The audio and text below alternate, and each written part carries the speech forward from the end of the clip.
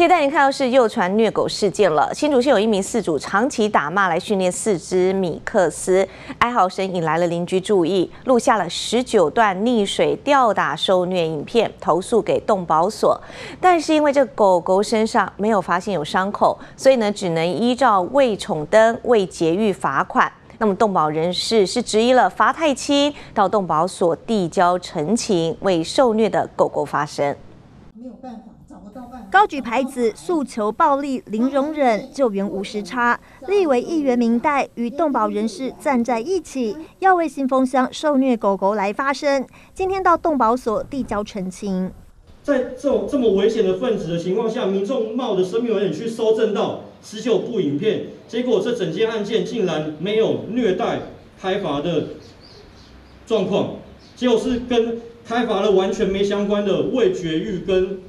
为宠物登记这两条，那我想请问，那我们民众冒死去收证还有什么意义？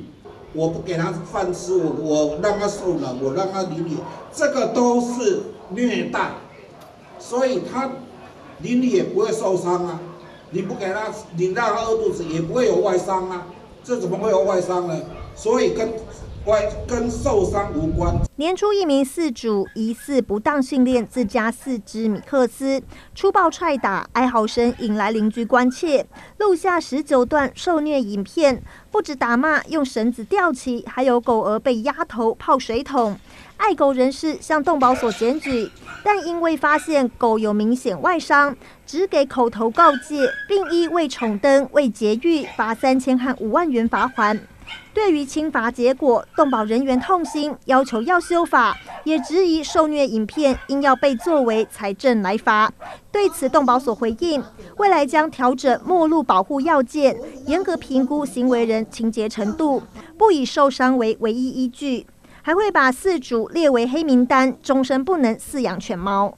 动检员在执行这个身体评估的时候，在做身体检查的时候。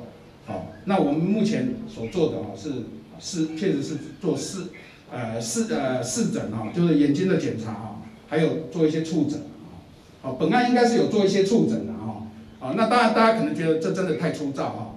那未来我和同仁哈还有法制单位呃呃那个讨论过以后，我们会制定一个啊动物身体评估表啊动物身体评估表。那以后我们动检员啊就是依据。得有伤口才能没入或紧急安置。明代将努力促推动保法修法，也要求人员要审慎检视受虐动物，给予毛小孩真正的保护。